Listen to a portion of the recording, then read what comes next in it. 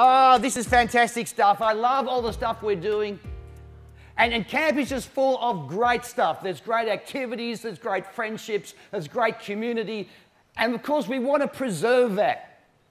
Lots of photos to be taken to remember all the good times. Lots of tweets and Facebook statuses to share the good times with the world because deep down, I think every single one of us just wants to feel good. We want to enjoy this world. We want to do the good stuff. We want to know that we're going okay as a person. And you know, most of us start off life feeling pretty good.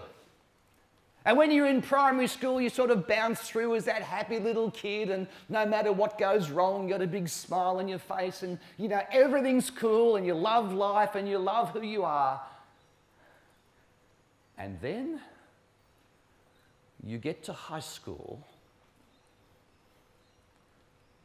and the dreaded enemy puberty enters the scene. Now, it's full of excitement.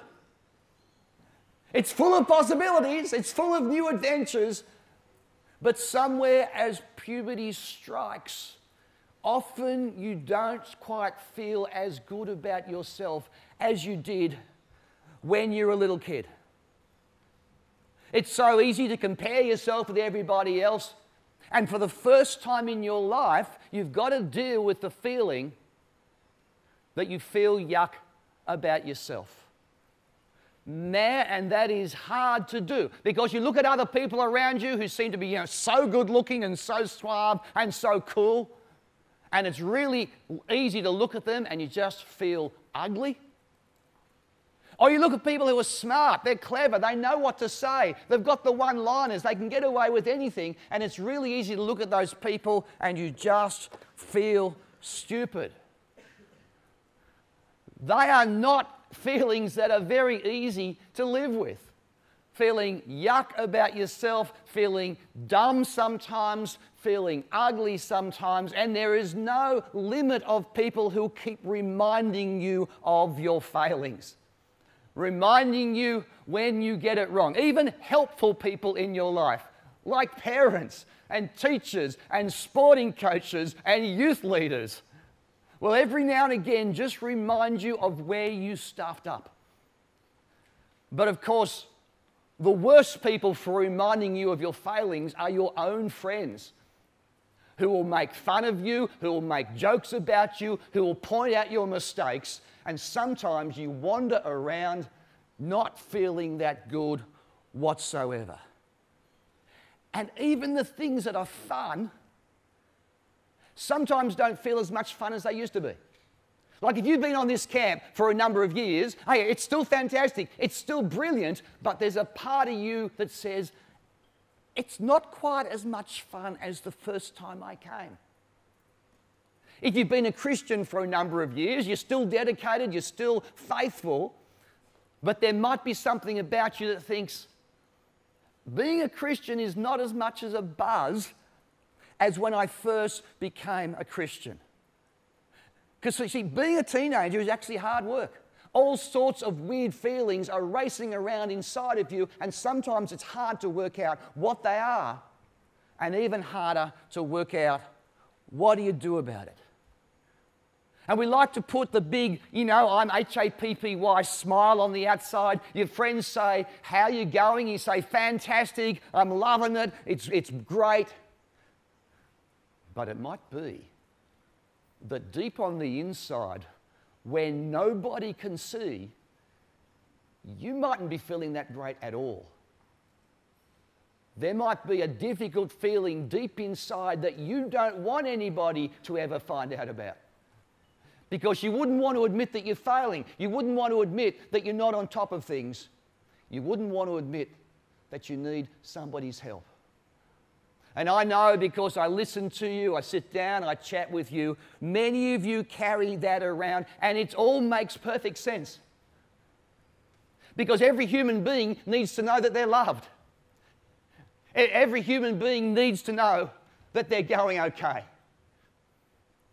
It's almost like every single one of us is born with a big neon sign around our neck saying, Please love me. Tell me that I'm doing okay. I need to know that I'm cared for. That's the sort of situation that we all find ourselves in. Because they tell me that here are the two greatest needs of every human being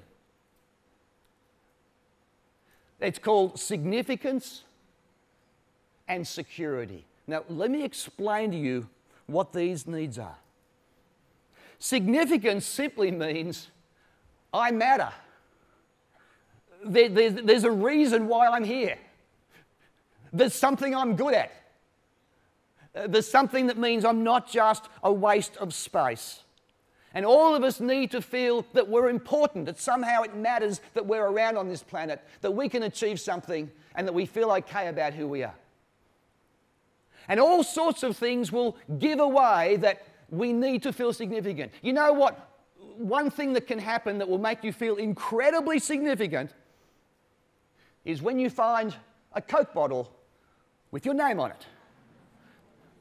And suddenly you think, oh my goodness, the Coca Cola company thinks I'm significant enough to put my name on, and you feel good about it, and you take a photo of it.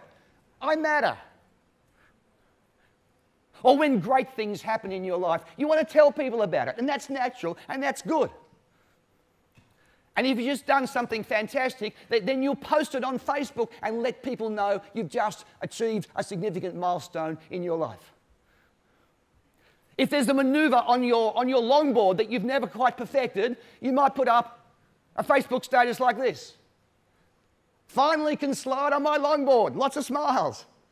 And that's brilliant. One of you guys put that up there. And I'm thinking that's, that's brilliant. You need to know you're significant. Or maybe you've ordered some special shoes in the mail and they finally arrive. You need to let everybody know. My red vans arrived in the mail. And you want to celebrate all those big things in your life, and that's brilliant and that's okay. That's our need to be significant. But the second need that we all have is a need to be secure. I'll tell you what that means that I matter to somebody, that there is at least one person in the world who cares for me there is at least one person in the world who loves me.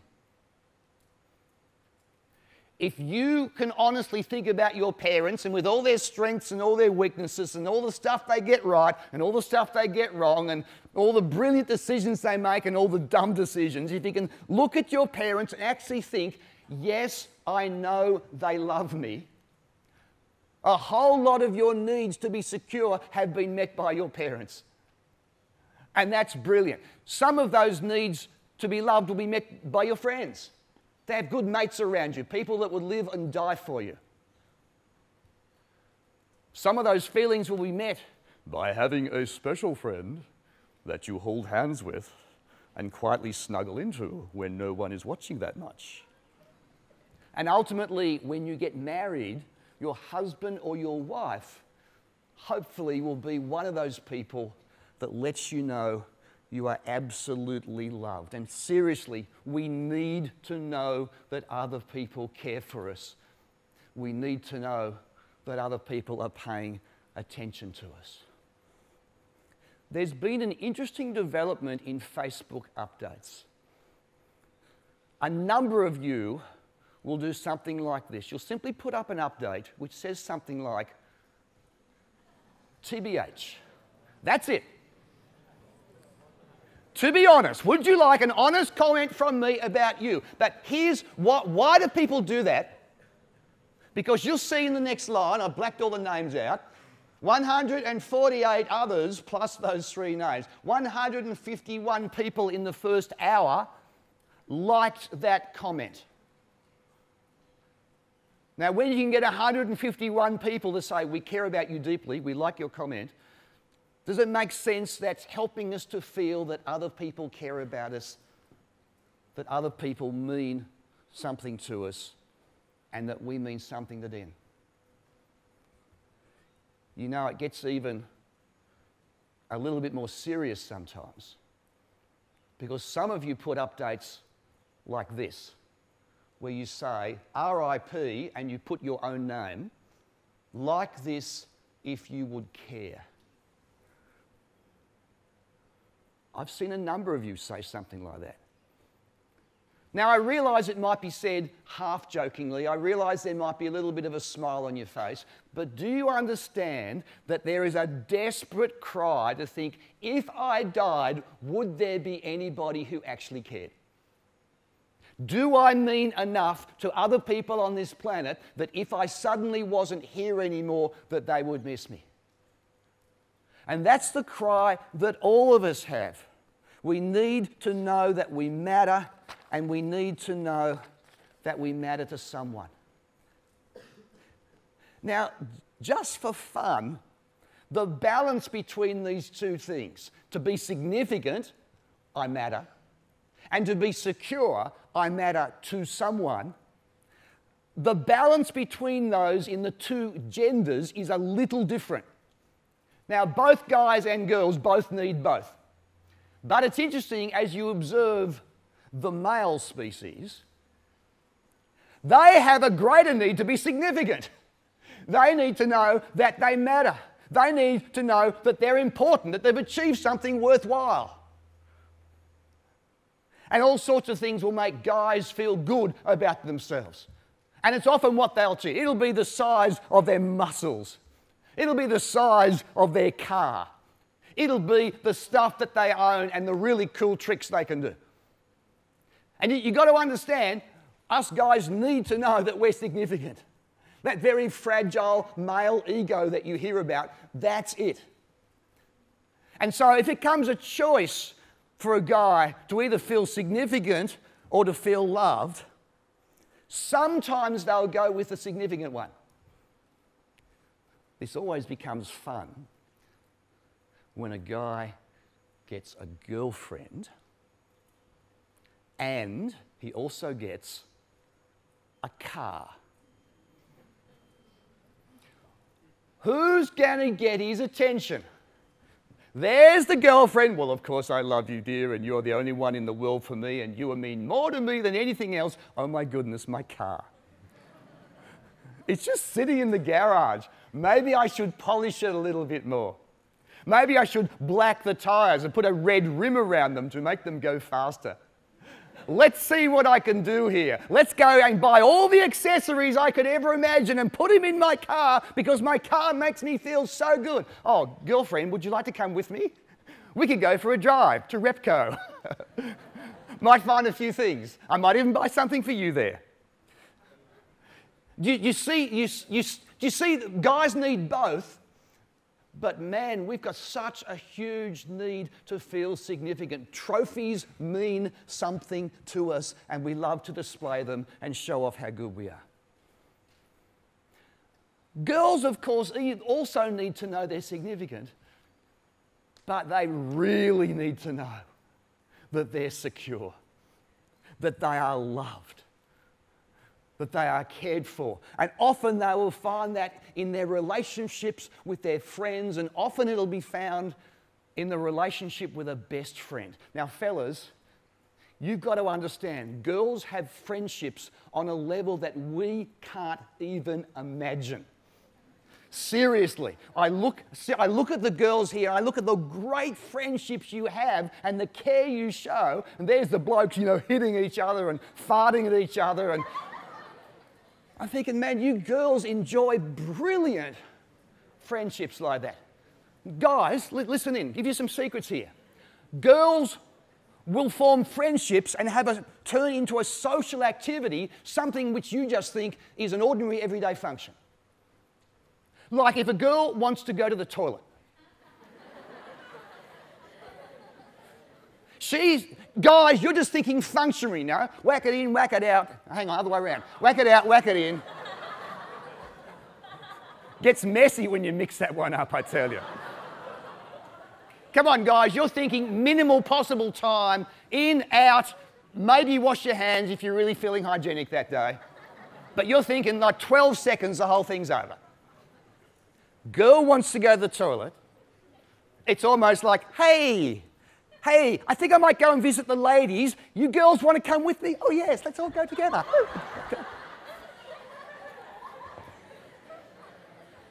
Guys, do not try this. Seriously, guys, do not try it. Like, I'm, I'm thinking, look, I just need uh, to go to the toilet. Uh, Neil, um, would you like to come with me?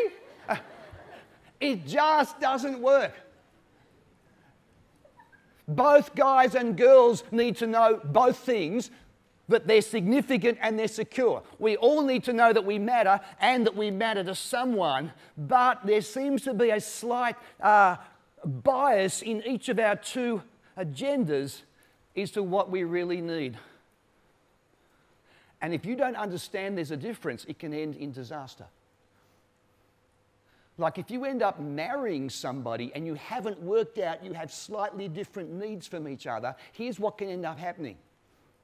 The guy wants to be significant, and often they'll find it in their work or their achievements. And they go off out there to their work and their achievements to feel really significant. And the wife is saying, I want my security in my relationship with my husband. But he's off at work or off at his sporting team or off at his car club. And I just want him. And I want him around. And I want to be cared for by him.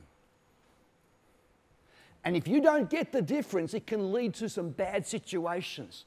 Sometimes there'll be a girl, and she's got a boyfriend who treats her badly, you know, takes her for granted, is abusive of her, makes fun of her. And all her friends say to her, You've got to dump this guy, he's no good.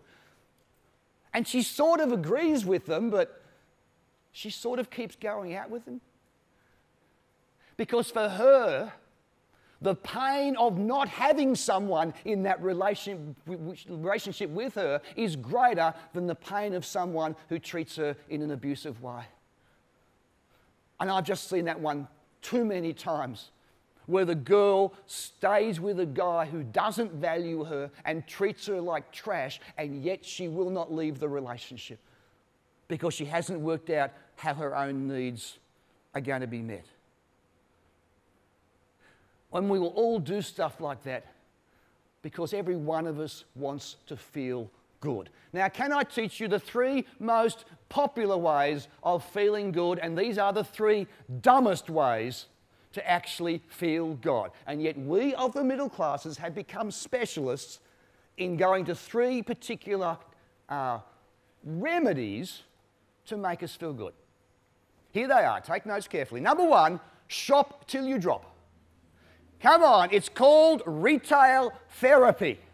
You're feeling down, you go to the shops, you've got some money, you've got a credit card, you've got a, a, a, debit card, and you go and buy something and you feel good about it.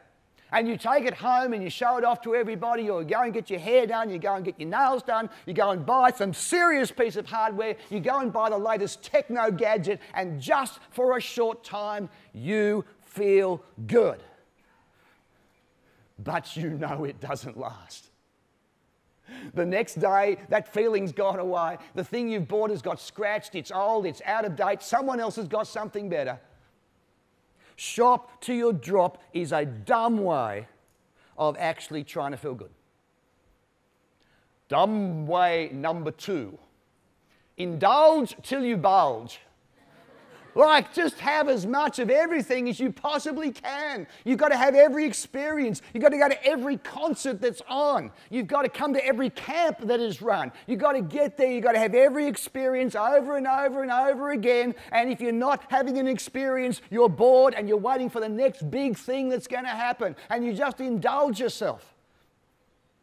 Or maybe you just keep eating because eating food makes you feel good. And you're not eating because you're hungry for food, you're eating it because you're hungry to feel good. And you can see the bad effect it's having on you, but you just keep eating away. Indulge to you bulge is a dumb way of actually trying to feel good.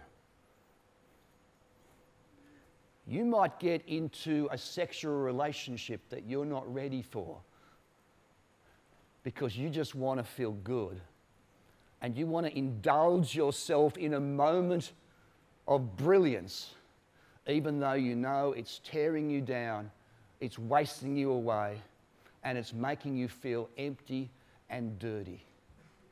Indulge till you bulge is not a good way of feeling good. Dumb way, dumb way number three run till you're done.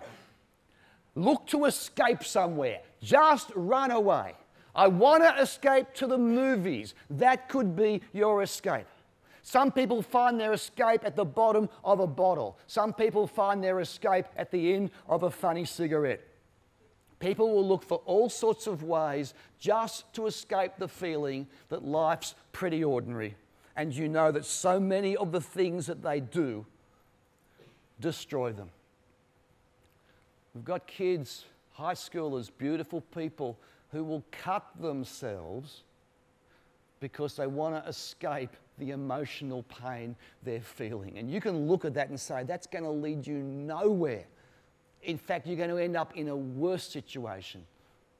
But sometimes, on the spur of the moment, we end up doing dumb things because all of us want to feel good even if it's looking at a website that we're not meant to be looking at, just for a moment we want to feel satisfied. And sometimes we'll chase down anything that helps us to feel that way. But there's the problem none of them actually satisfy, none of them last. In fact, most of them destroy you and make you feel worse. When Isaiah writes to the people, seven, eight hundred years before Christ, he is writing to a whole lot of people who do not feel good at all. As we learnt yesterday, they've been taken from their own country, the city is being devastated, it feels like God has abandoned them, and they're not feeling good, and they're chasing after all sorts of stuff to try and make them feel good. And as we look at Isaiah today, we're going to see that God has a message to people who want to feel good. And I want you to know this morning from the Bible that you are significant because God created you, and that you are secure because God loves you. Let's have a look together at Isaiah chapter 55. So, you got your Bibles there.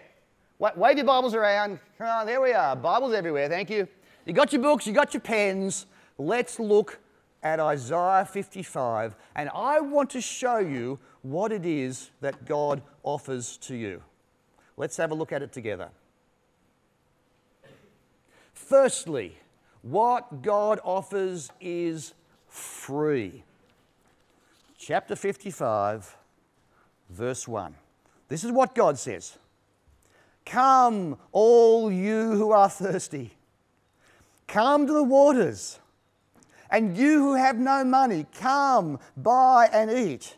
Come, buy wine and milk without money and without cost.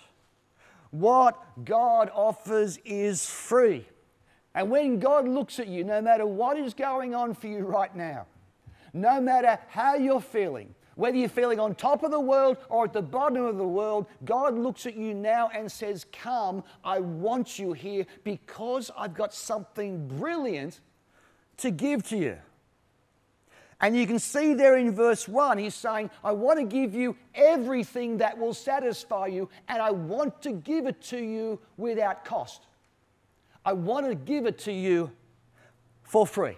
Now, I don't know about you, I'm kind of a cynical guy. When I see that someone's offering me something for free, I'm trying to work out what's the catch. Because you see these ads for things that look like they're free, and there's a little asterisk next to the word free, and you dive down the bottom to the fine print, and you discover that conditions apply. The conditions which basically eliminate the meaning of the word free. I saw an ad on TV where you can download really groovy, that's probably not the right word, is it? Really cool ringtones for your phone. And it's flashed across the screen one free ringtone, SMS this number. Now, Have you ever noticed that right down the bottom of the screen, in little tiny letters that are very hard to read and they don't stay there for very long, it spells out the conditions? Just for fun, I paused it one day to read what were the conditions of the free ringtone. Well, the ringtone is free if you subscribe to their daily ringtone service. And if you send that number to the, the text number, you are agreeing to sign up for a $4.95 per day subscription service, which will deliver you free ringtones that day. Can you work out how much that's going to cost you a week? About $35 a week. For a month, that's about $140 per month for the rest of your life. I hope none of you got trapped on that one. But when I see things that are offered free, I'm thinking, what's the catch? Have you been to one of those websites? And, and a banner sort of appears at the top that says, Congratulations, you are the 999,999th person to visit our site. Click here for a free iPad 2. And you're thinking, wow, free. My uncle in Nigeria would be proud of me. It says free, but you know it's a con. It's going to end up costing you heaps. And sometimes when you see something that's advertised as free, you're thinking, yeah, what's the catch? This is going to be a bad deal. I want to say to you, when God says to you, I offer it to you, to you and it is at no cost, there is no asterisk. There are no hidden conditions.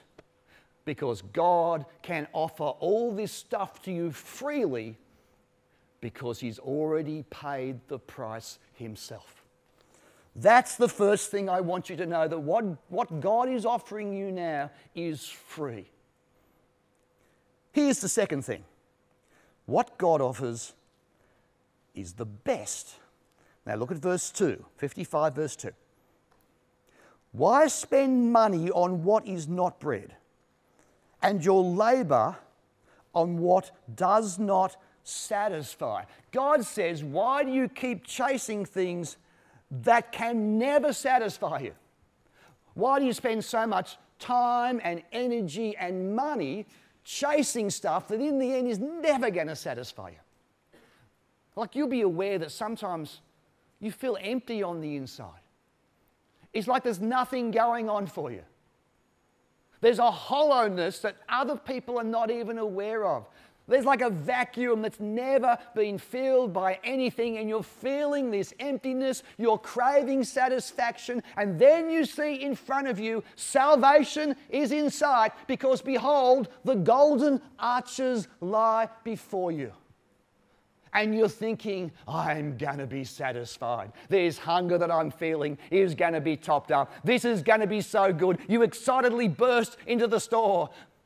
I don't quite know why, but you look at the menu board just hoping there might even be something different one day. You get in line, you're getting excited, you're working your way to the front of the line. The hunger is growing within you, the mouth is starting to salivate. By the time you get to the front of the line, you're at the counter, you are frothing at the mouth with excitement. There's a saliva dripping all over the girl's machine. And you place your order, which you've been rehearsing in your mind for the last three minutes. And the girl says, I'm sorry, there'll be a three minute wait on that. Three minutes! I'm not waiting three minutes. But eventually your food comes, you scoff it down, you're thinking, this is the ultimate, this is fantastic, and then you start to feel bloated. And half an hour later, guess what? You're hungry again. God says, Why do you spend so much time on stuff that will never satisfy you? It's a really hot day at camp. We've been like really sweaty activities. There's sweat coming from every orifice of every person's body. And your mouth is starting to get that dry feeling. You know, it's just, it's just, it's got to be satisfied. And then your secret friend brings, uh, sends someone over with an ice cold Coke. And you know it's cold. It's got the little driplets of condensation coming down the outside. You see on the side of the word Coke, it's got the word enjoy and it's got the word happiness. And you're thinking, there's a can of happiness waiting for me. And your mouth is so dry and you can almost taste it, and you grab that cold can in your hands and you rip the little thing off the top, and a little fountain of happiness erupts from there, and you scull it down, and it is so cold, and it's full of gas and sugar and everything else you need. And it is so satisfying. And 10 minutes later, you're thirsty again. God says, Why are you chasing after things that can never satisfy you? God says, If you trust in me, I'm going to give you things that will totally satisfy you. I want your desire, says God, to be for me, and I want you to trust me that I will give you your heart's desire. Stop chasing the stuff you think is right for you. Start chasing the stuff that I want to give you. It satisfies, and you know what? It's the best. Now, here's the problem when someone offers you something that's free, you think it's going to be shoddy. You think it's like it's going to be like really bad workmanship. You go to the cricket, and some sponsor gives you a free hat. And when you get it, it's like a little cardboard shade and you can't get it to fit, and as you sweat, it sort of gets really soft and soggy at the front. And you know, by the time it's halfway through the first day, you're throwing it away because it was a stupid, free, shoddy little hat. So often, things that are free, we think they're going to be second rate.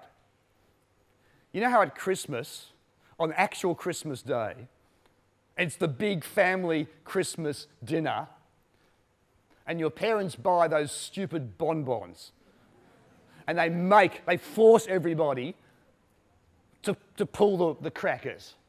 And you've got to wear the stupid hats. But there's a free toy inside. Wow! Isn't that exciting? Have you seen the toys they put inside those things? Like a little tiny plastic hat about that big. You know, would be great if you had a little friend that was that big. What, what's, what's the deal? Come on. When you hear that something free, you think it's second rate. You think it's stuff that someone's trying to get rid of. You think it's going to be shoddy merchandise. Have a look at verse 2 again. Second half of verse 2, God says, Listen, listen to me and eat what is good, and you will delight in the richest of fare. God says, What I want to give you is the best possible. It is not second rate. And he uses a picture of feeding us with a meal and saying, You will delight in the richest of fare. Now, I don't know what your favourite meal is. Is it a big, thick, juicy, sizzling on the barbecue steak? Maybe some prawns thrown in. I don't know what it is for you. For me, it's chicken Maryland with everything deep fried deep fried chicken, deep fried sweet corn, deep fried potato, deep fried anything you can get your hands on. Just whack it all on the plate and follow it with a nice, healthy chocolate mousse. Think of your best meal, the sort of meal that you love, and Jesus says, what I'm offering you is of that quality. It's the best you will get. Now, here's the problem. Sometimes your favourite meal is actually reserved for when you're a condemned criminal.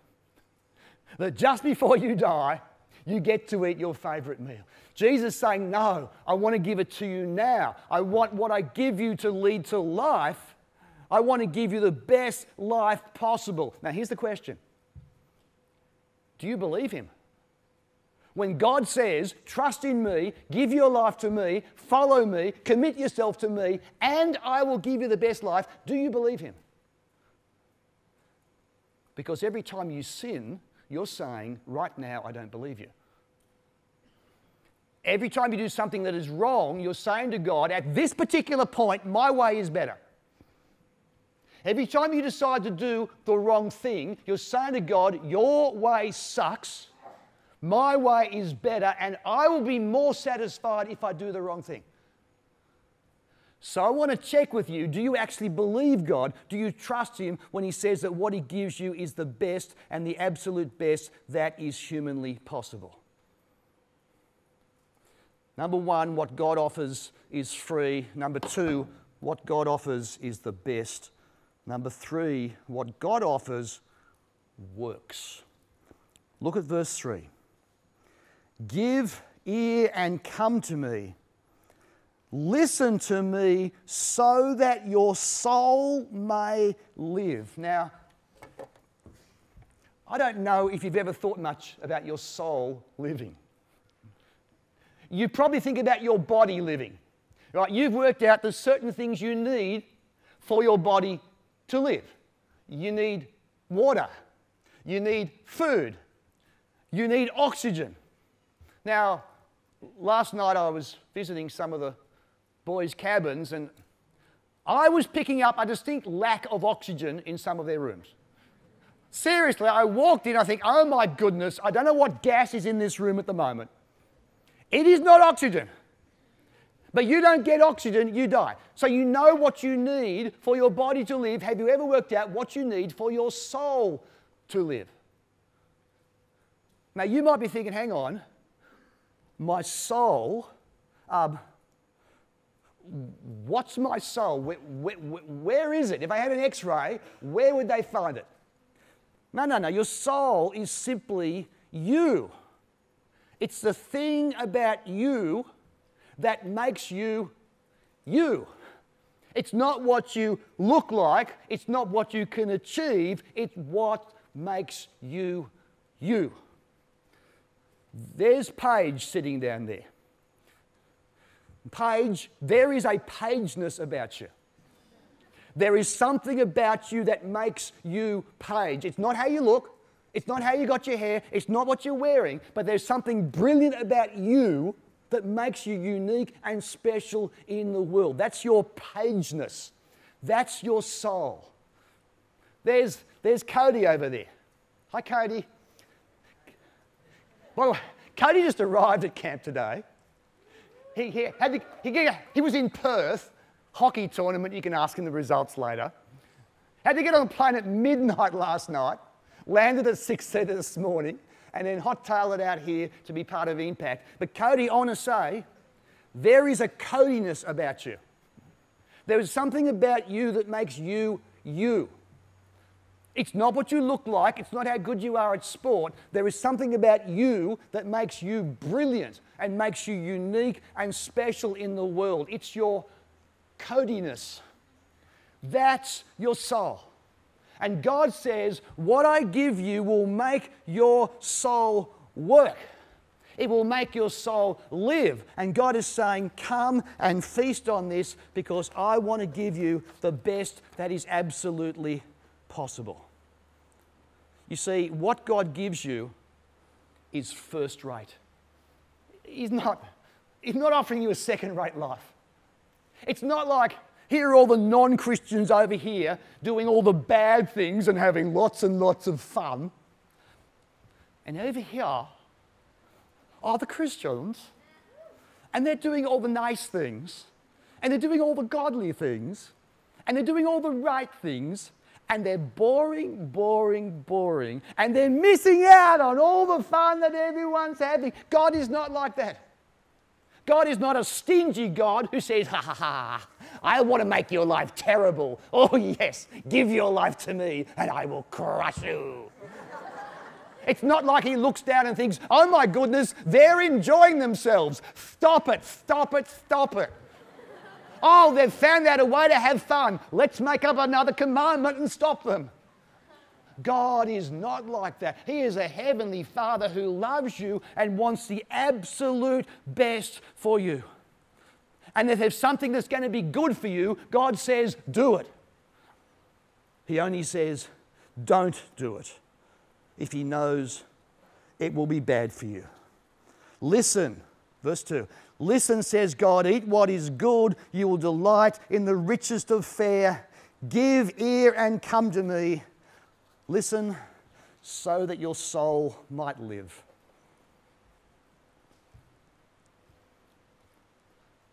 Imagine you organised a birthday party for yourself. Invited all your friends on Facebook. Sent a text message to the really important ones. You went out and bought the decorations. Your family joins in. Lots of food, lots of great food. We've got balloons. You got the cake. It's going to be like a big, big party. Imagine that nobody came.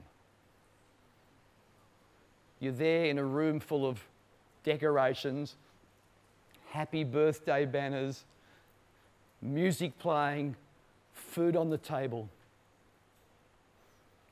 Nobody comes. You celebrate your birthday by yourself. You get your little happy birthday cupcake and you put a little candle in it and you light the candle and you sing, Happy birthday to me. Imagine having a party and nobody comes. Imagine sending out all the invitations and you want people to say, I'm in, and all you get is answers to say, I'm busy. Sorry, going to another party. Sorry, family function. Yeah, I was coming to your party, but I got a better offer on the way, and so I'm not coming. Come on, if you've got a party, you've got a feast, you want to celebrate, the answer you want is, I'm in. You don't want the answer, I'm busy. The king of the universe is holding a party right now. He's got a banqueting table and he wants you to be part of it. And Jesus tells a story about a, a party goer who sends people out, sends out the invitations, and all they get is excuses. He wants people to say, I'm in, but all he gets is the answer, I'm busy. I have bought a field, I need to inspect it. I've bought a cow, I need to go and check it out. They think of any excuse possible, and nobody comes to the party. And Jesus is inviting you to his heavenly party. And he says, Join me for eternity. I'll give you the best life in the future. And guess what? We're going to have the best life now as well. Do you believe God that he will give you the best life possible? Do you believe him enough to drop whatever it is you're focusing on at the moment and say, I'm in? Or will you just come back with an excuse? I'm not old enough. I haven't had all my questions answered.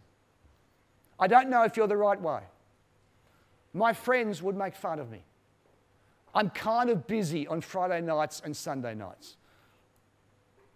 If God is inviting you to the best life possible, if God is saying, I want to satisfy every part of you, if God is saying, I want your desire to be for me so that we can enjoy each other for eternity. If God is inviting you to his heavenly party, what answer will you give to God today? Will you say, I'm in? Or will you say, I'm busy? Thanks, guys.